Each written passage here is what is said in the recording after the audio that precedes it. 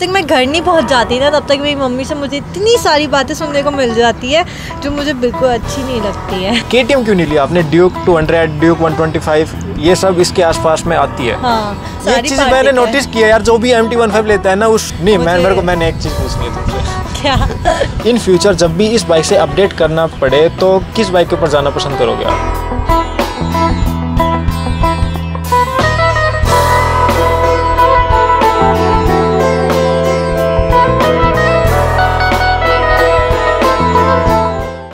Hello दोस्तों यार, मैं आप सभी का वीर जी आदि राव और मैं अपनी पूरी राइडर फैमिली का स्वागत करता हूँ आज एक नई वीडियो के अंदर।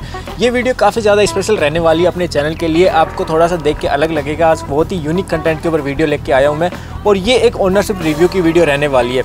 इस चीज़ आपको बता दूँ चैनल के अंदर अब एक नई प्लेलिस्ट क्रिएट कर दूँगा, जिसके अंदर ओनरशिप रिव्यू की आपको सारी वीडियोज़ मिल जाया करेगी वहाँ पे। इसके साथ ही एक चीज़ मैं आपको और बताना चाहूँगा। इस वीडियो में यार स्पेशल ये है कि एक तो पहली बार अपने चैनल पे एक ओनरशिप रिव्यू की वीडियो आ रही है और दूसरी स्पेशल बात ये है कि वो एक फीमेल राइडर की तरफ़ से आ रही है। इस बाइक की जो राइडर है, वो एक फीमेल राइडर है और अपने इंडिया के अंदर फीमेल राइडर बहुत ही कम होती है, खासतौर से बाइक के साथ। मतलब ड्राइवर मिल जाएगी, आपको कार वगैरह चलाती खूब मिल जाएगी सिटी में, लेकिन राइडर बहुत ही रेयर मिलती है। तो यार, इस वीडियो में उनसे इस बाइक के बारे में जानेंगे कि आखिर उन्होंने ये बाइक क्यों ली है, क्या रीज़न है, क्या चीज़ उनको पसंद आती है, क्या नहीं है, क्या मेंटेनेंस है, क्या प्राइस है, हर एक चीज़ खोद खोद के निकालेंगे। तो एक बार आप, उनको बुलाना चाहूँगा कैमरे के अंदर। तो सबसे पहले तो मैं चाहूँगा कि आप अपना इंट्रो दो, एक बार अपना नाम बताओ और क्या करते हो, ये चीज़ आप बताओ एक बार चैनल के ऊपर। हेलो मेरा नाम अश्लेषा है और मैं एक यूट्यूबर हूँ एंड मेरे चैनल का नाम है एजी ब्लॉग्स जिसको आप चेकआउट कर सकते हैं। अच्छा यूट्यूब के अलावा भी आप कुछ और करते हो? अभी मैं स्टडीज़ ही कर रही हूँ मैं अपनी स्टडी कर रहे हो और उसके हाँ। साथ यूट्यूब है? हाँ जी। अच्छा यूट्यूब का क्रेज़ कैसे आया? यूट्यूब का तो वैसे मेरे को बाइक का बहुत ज़्यादा क्रेज़ था। हाँ। बहुत स्टार्टिंग से ही मुझे बाइक चलाना बहुत अच्छा लगता था।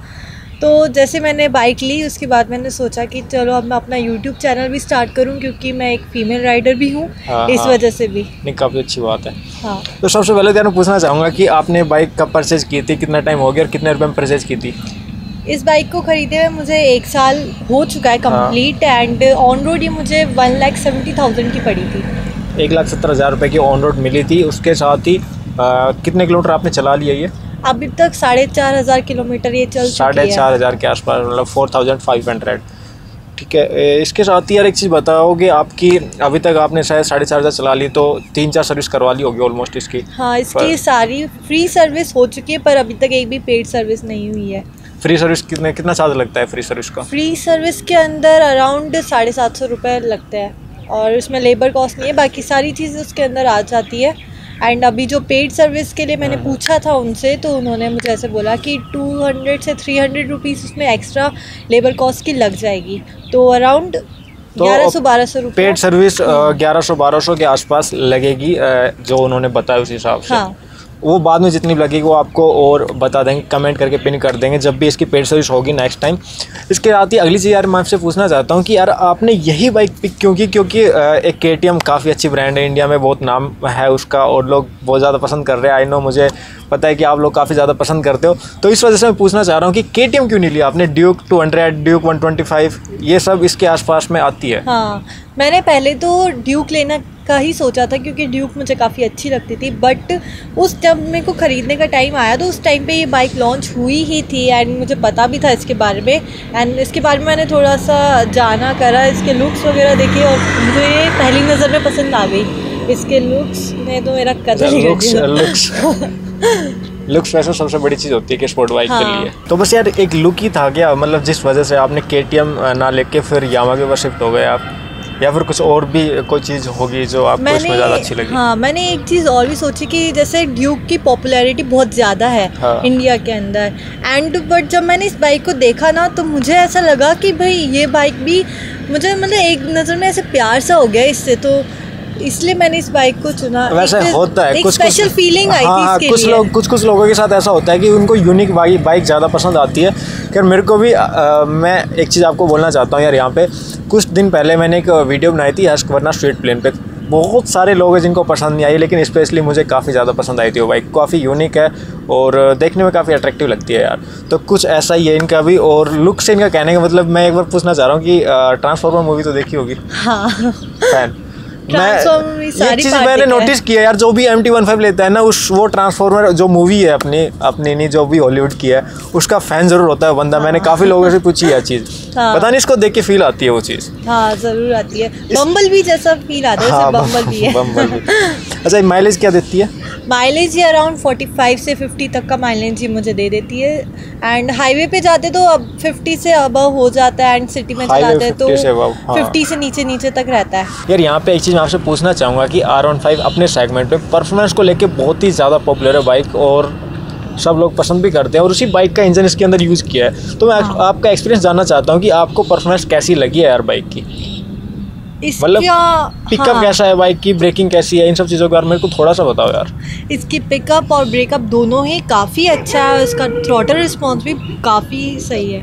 और एक चीज़ जो इसमें हाईलाइट की जाती है यामा की तरफ़ से वी वी है जो कि हाँ। सात हज़ार आर से ऊपर जाने के बाद थोड़ी सी फील होती है वो फील होता है सच में आपको? हाँ मुझे इसके अंदर एक बूस्ट देखने को मिलता है सेवन थाउज़ेंड आर को क्रॉस करने के बाद में और एक इसकी आवाज़ में भी काफ़ी अच्छा मतलब साउंड आवाज़ काफ़ी अच्छी हाँ, लगती है। हाँ ये चीज़ मैंने भी फील किया ये चीज़ सच में है बाइक में फील होती है सात हज़ार आर के बाद। हाँ। तो इसके बाद मैं एक चीज़ पूछना चाह रहा हूँ जैसे अपन सिटी में बाइक को चलाते हैं सिटी में राइड करते हैं तो नॉर्मली अपन क्या चाहते हैं कि यार बार बार गियर शिफ्ट ना करना पड़े अपन हाँ। टॉप गियर में भी लो स्पीड पे चला लें तो हाँ। वो चीज़ में वो चीज़ बाइक में कैसी लगती है आपको ये ये चीज़ इस बाइक के अंदर काफ़ी अच्छी है कि अगर आप सिटी में चला रहे हो तो टॉप ना टॉप गियर में भी आप है ना लो स्पीड पे स्मूथली है ना चला सकते हो बाइक को कोई भी नॉकिंग साउंड या फिर वाइब्रेशन इसमें नहीं होता है यार अब एक चीज़ स्पेशल मैं आपसे पूछना चाहता हूँ कि कुछ ऐसी चीज़ मेरे से शेयर करो इस बाइक के बारे में जो कि आज तक आपको काफ़ी ज़्यादा याद भी आती हो और काफ़ी अच्छा लगता हो सोच के कि हाँ मेरी इस बाइक के साथ ये मेमोरी काफ़ी अच्छी थी।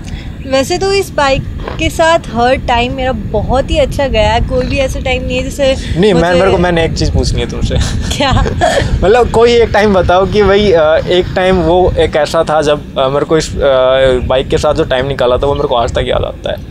देखो वैसे तो मेरे लिए सबसे सबसे सबसे अच्छा टाइम तो जब भी था जब ये मेरे पास में फ़र्स्ट टाइम जब मैंने ख़रीद के मैं इसको घर लेकर आई थी ना वो टाइम तो बिल्कुल ही है ना मतलब क्या कर सकते हैं कंपेयर नहीं कर सकती अभी तक मैं क्योंकि वो जो खुशी थी ना उस टाइम क्योंकि फ़र्स्ट बाइक है ये मेरी। एंड एज अ गर्ल मेरे को एक बाइक मिली है और मैं खुद चलाऊँगी इसको वो वाली जो खुशी थी मेरी वो बिल्कुल? कंपेरेबल नहीं है मेरी अभी 19 ईयर्स है मैं 19 ईयर की। है लगभग इसका मतलब आपने एक साल पहले ले ली थी जब एट्टीन आपने कंप्लीट की हाँ। तो अठारह साल के बाद बाइक ले ली थी आप हाँ मतलब कितनी लक्की है यार हमको कितनी लेट मिली थी बाइक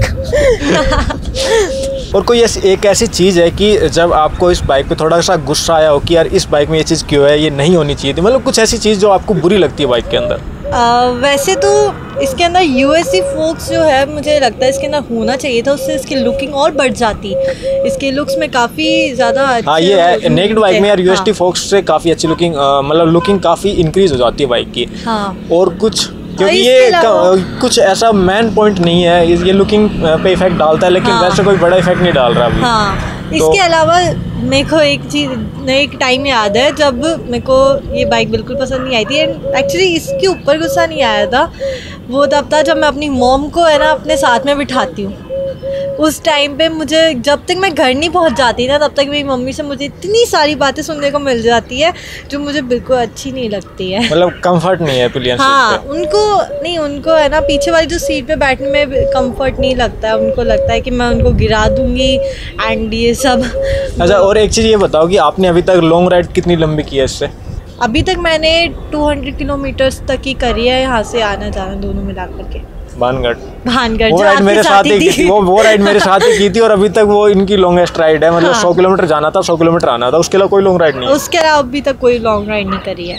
तो सौ किलोमीटर आप जब इस बाइक पे बैठे आपने चलाया भी पीछे भी बैठे थे आप हाँ। तो कंफर्ट कैसा लगा था? मतलब राइडर के जब आप चलाते टाइम ज़्यादा कंफर्ट फील कर रही थी अब पीछे ज़्यादा? जब चला रही थी तब ज़्यादा कंफर्ट फील कर रही थी आगे वाली सीट काफ़ी अच्छी है। चलाते टाइम कंफर्ट मिलता है आपको पूरा पूरा? हाँ पूरा मिलता है। पीछे बैठने में दिक्कत आती है हाँ थोड़ी देर तक। मतलब एक टाइम के बाद में है ना आपको थोड़ा सा अनकंफर्टेबल फील होने लग जाता है इसके अंदर पीछे वाली सीट पे। वैसे यार ये नेक्ड स्पोर्ट बाइक में या फिर किसी भी स्पोर्ट बाइक में पिलियन सीट का कंफर्टेबल मिलना बहुत ही मुश्किल होता है। ये चीज़ तो है। तो यहाँ पे काफ़ी सारी चीज़ें बाइक के बारे में पूछ लिया मैंने इनसे बहुत सारी चीज़ें खोद खोद के निकालने की कोशिश की जितनी मेरे से निकल पाई है। और बाकी एक चीज़ मेरे को और पूछनी लास्ट में कि इन फ्यूचर जब भी इस बाइक से अपडेट करना पड़े तो किस बाइक के ऊपर जाना पसंद करोगे आप? मैंने वैसे तो अभी जो सोचा है इस बाइक के बाद में वो मुझे लगता है three ninety Duke three ninety हाँ। ड्यूक थ्री नाइन्टी कहा कल को यामा की M T zero three launch हो जाती है। हाँ? एम टी ज़ीरो थ्री जो कि ड्यूक थ्री नाइन्टी के कंपटीशन में है हाँ। वो बाइक कल को इंडियन मार्केट में लॉन्च होती है तो फिर कौन सी बाइक लेना पसंद तो करोगे मैं उस दोनों को कंपेयर करूँगी जैसा कि मैंने पहले ड्यूक और एमटी को कंपेयर करके एम को चुना मतलब था आप देखोगे कि कौन सी बाइक आपके लिए उस टाइम हाँ। सही लग रही है चलो तो- नाइस डिसीज़न है हाँ। ऐसा सोच समझ के लेना बाइक को बहुत बढ़िया बात है ये भी एक हाँ। बहुत ही अच्छा डिसीज़न है मेरे हिसाब से भी इनके लिए उसके साथ एक चीज़ और बता दूँ कि अपने चैनल के ऊपर ये जो ओनरशिप रिव्यू की वीडियो आई है ऐसी है और भी वीडियो काफ़ी सारे आने वाली है और आप चाहते हो कि आपने कोई नई बाइक ली है नई कार ली है फिर आपके पास कोई ऐसी पुरानी बाइक या कार है जिससे कि आप लोगों को सजेस्ट करना चाहते हो कि मेरी कार या फिर मेरी बाइक में कुछ ऐसी ऐसी चीज़ जो कि मेरे को अच्छी लगती है और मैं आपको सजेस्ट करना चाहता हूँ कि आप इसे परचेज़ करो। तो उसके लिए आप मेरे को ज़रूर कांटेक्ट कर सकते हो। मेरी ईमेल मैंने नीचे डाल रखी है, उसके साथ ही इंस्टाग्राम पे मेरे को मैसेज कर सकते हो। या फिर कोई ऐसी चीज़ है, आपके पास कोई ऐसी बाइक कार है जो कि आप सजेस्ट करना नहीं चाहते, आप उससे काफ़ी परेशान हो तो इन सब चीज़ों के बारे में हमने ये चीज़ शुरू किया ताकि हम लोगों को आपकी आवाज़ पहुँचा सके। और एक चीज़ और बता दूँ कि यार, लड़की काफ़ी मेहनत करती है हार्ड वर्किंग है तो इनका चैनल ज़रूर एक बार विज़िट करना। अगर आपको अच्छा लगे तो सब्सक्राइब करना, वरना यार आपकी इच्छा कोई ज़बरदस्ती नहीं है आपसे। ये वैसे ज़्यादा हो गया सॉरी तो यार, ये सब नया चैनल नया स्टार्ट हुआ अपने चैनल पे, और मैं चाहता हूँ कि आप इसे सपोर्ट करना। बाकी मिलते हैं नेक्स्ट वीडियो में, इस वीडियो में यही था। अपना ध्यान ध्यान रखो, अपना मस्त रहो, खुश रहो, tata bye bye take care